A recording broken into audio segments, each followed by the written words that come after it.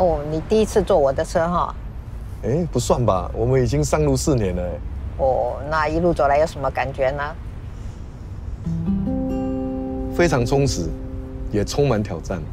嗯，说实在的，真的是很不容易。其实我一直想要问你，你感觉我是什么款的人？你比我想象的更快派呢。尤其是哦，你看伊迄个影片哦，看起来就派哦，你跟人咧玩家。不，我迄是为了国家安全啦。该派的时阵，我那是爱派啦，因为守护台湾的民主也是上界重要。嗯。外口跟他风真透的。有感觉到啊。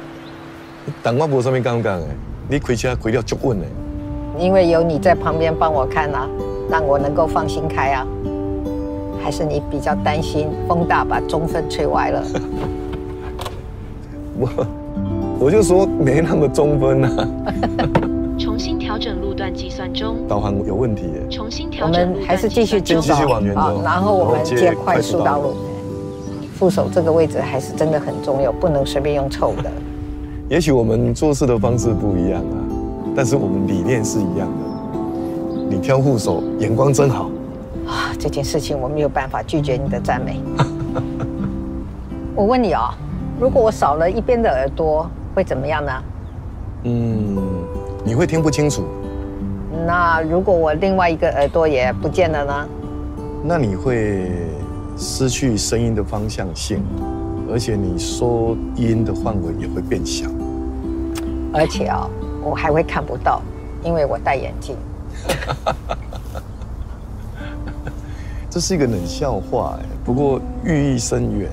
我想到国会没过半，结果造成空转，没有办法前进。那你打算怎么做呢？我正在努力延揽不同领域的优秀人才。这样很好，让更多的人才进来哦。国会必须过半，国家才能够走在对的路上。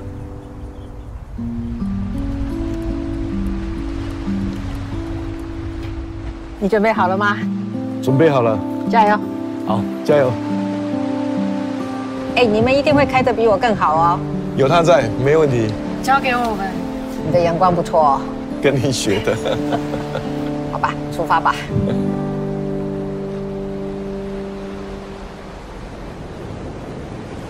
台湾的海岸线好美哦。你有去环岛过吗？应该所有乡镇都去过了，只是没有连起来。台湾人很幸福，随时可以出发。去海边、去山上、去湿地、去海港，通通都可以。你想怎么走？OK，我们走民主路，民主路一直走。那我们同一路的哦。你确定？你选猫还是狗？我知道你要说什么，但我还是选狗。民主社会就是可以容纳多元嘛。出去一趟就会知道。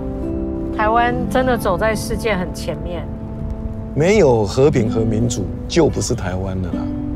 这是很多人努力的结果。嗯，我很珍惜台湾的一切，我愿意用生命来守护。